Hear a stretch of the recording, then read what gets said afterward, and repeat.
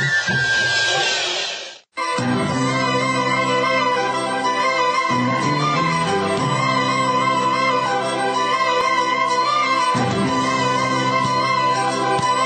है स्टार।